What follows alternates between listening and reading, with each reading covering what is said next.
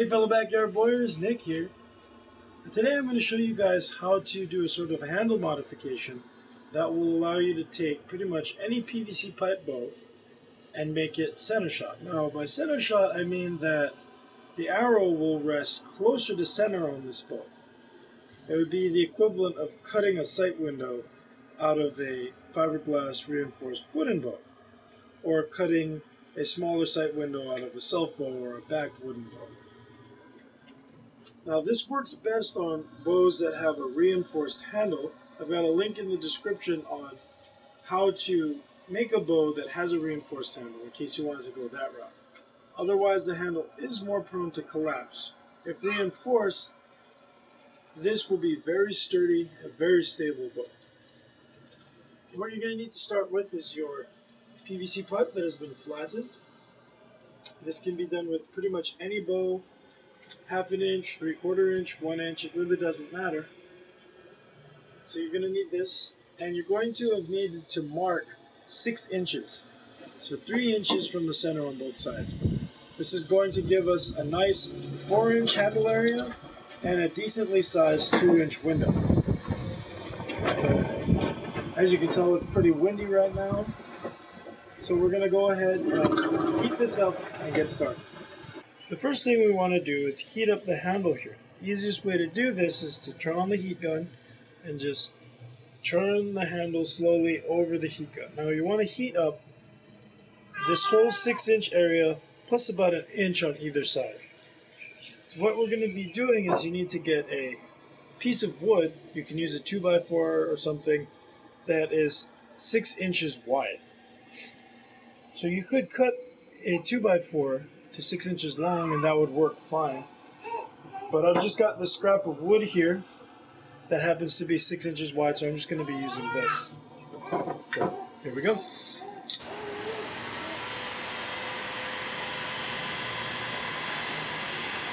So you just want to heat this until the handle puffs up and is nice and pliable. Alright, so here I have my handle here. This is the upper limb so what I want to do is smoosh the handle this way. So what we do is we line this up, make sure that your block of wood ends up between the two 6 inch marks. Make sure it's held straight up and down. And then you want to take clamps and or a clamp or two clamps, whatever, and actually clamp this to the handle of your bow. The other side.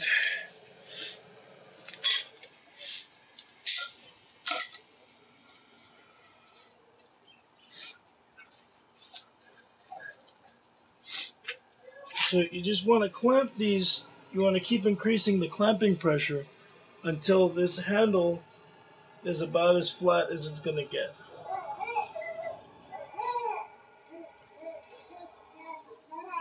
Alright, so this is what the handle looks like now. So basically, when you hold this, you can see there's a nice window here. But the only problem is that the limbs are all at a funny angle. So what we're going to do is, one by one, go and heat up each side. So first we're going to work on this side. Heat this up, make sure that this fade becomes more gradual, not hard and sharp like this. We're also going to make sure that inside the handle here, it's not hard and sharp, that it's a little more gradual. And that will keep it from collapsing. Here we go. Alright, so this is really simple. What you want to do is you take your heat gun or your heat source and you just want to heat up this area. You want to pretty much concentrate it right on this crease and about an inch above and an inch below. And we want to expand it all and get it to where we can form it. So here we go.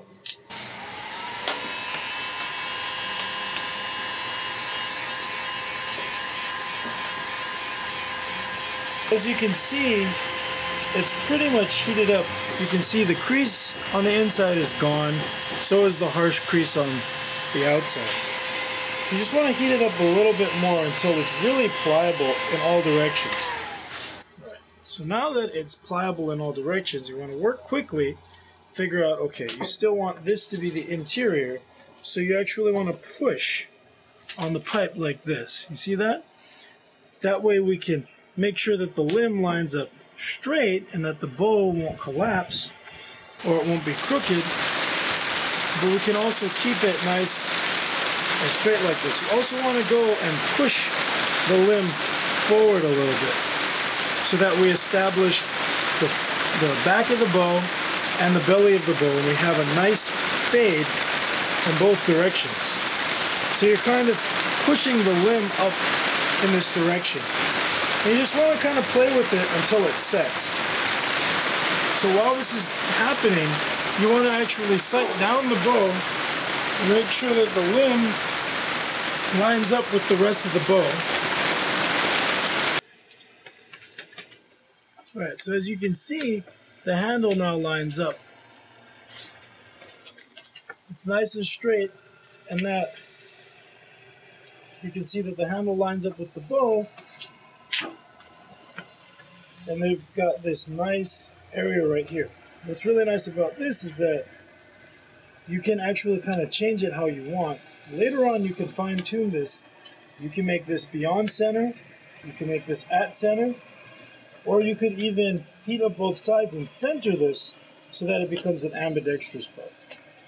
Now what's going to happen is I'm going to go ahead and heat up this side and do the same thing. So I'm going to show you what that looks like finished. Okay, so here's the bow. Here's the finished handle. As you can see, when you hold this, now the bow has a nice window here. As you can see, the arrow will actually pass closer to center than before. If you wanted to, you could flex this out a little bit more and make it a little more aggressive. But I like it to be fairly close to center, but I don't, I personally don't like completely center shot bows. It's just personal preference. So now what we're going to be doing is building our handle piece. Because if you use the bow as is right now, it would be very uncomfortable to shoot. Not only that, but because of the way the handle is, your arm would be directly in line with the string. And it would probably get you on every single shot. What we're going to be doing is building a handle section. Essentially, we're taking a half an inch and a three quarter inch PVC pipe, putting them inside each other, flattening them just like we did this handle, and then putting them together which will effectively give you a double thickness handle here, which will be nice and full in the grip. It will prevent you know, unnecessary arm slack. And it will also serve to reinforce this handle a little bit. I've taken the two pipes, put them together, and flattened them. Once I did that, you can see the layers in here. What I did was I ground this. You could do this with a piece of wood but PVC it kind of keeps it with the whole theme. So what I've gone and done is you can see I've rounded off the outside here. I've also gone ahead and tapered this and rounded this down here. I've also rounded this all off. What that's going to do is that we are going to actually glue this onto the handle of our bow to create a shelf. And when you're finished with this, if you fill this in with epoxy or if you wrap it with something, it looks like a built-in, it looks like a built-in radius riser. That's another thing I did. I slightly radiused this. This is to allow the arrow to pass over this.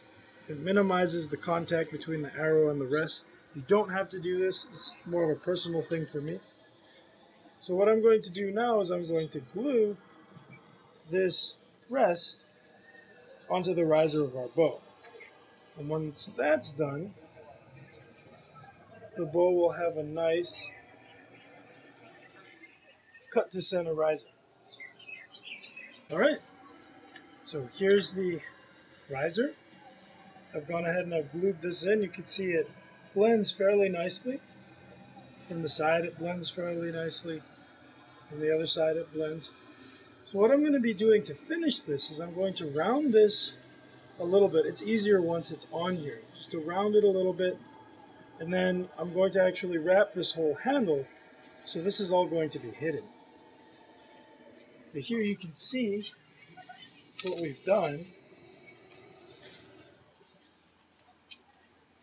So there's an integral place on the bow now where the arrow can rest.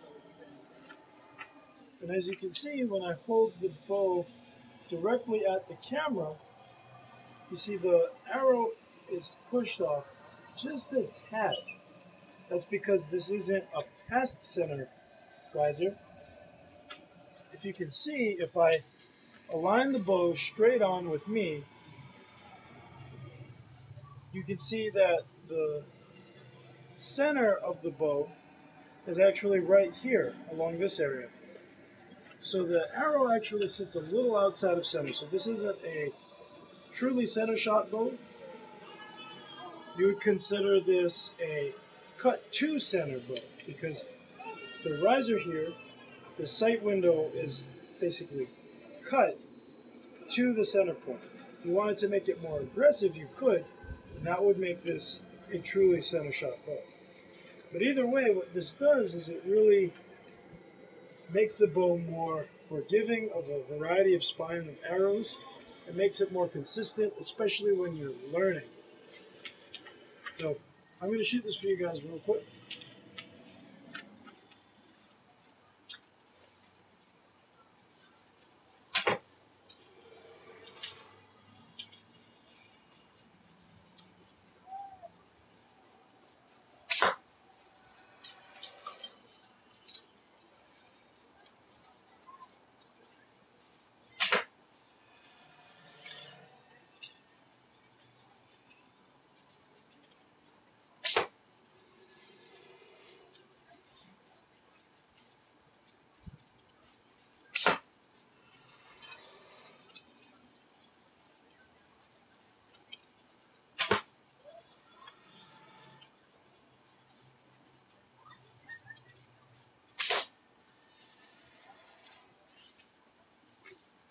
So here it is. So now I'm going to go and finish up this bow, and then I'm going to show you what this looks like when it's all finished. There we go. And here's the finished handle. So you can see nice cut to center. I went ahead and put some Velcro on here as a sort of a arrow pass. That way the arrow won't make a lot of noise coming through here and it won't wear down on the bow any. But here it is.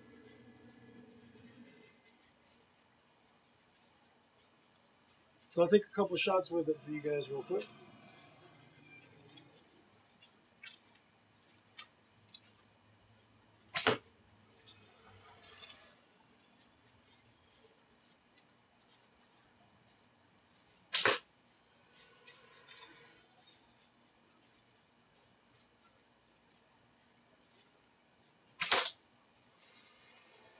So there it is. Thanks for watching, and I'll see you guys next time.